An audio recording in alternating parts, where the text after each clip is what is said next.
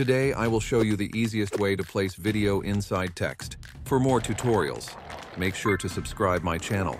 Drag a video on the Create Studio canvas. Add a big text above the video layer. Change the font family and size as per your wish.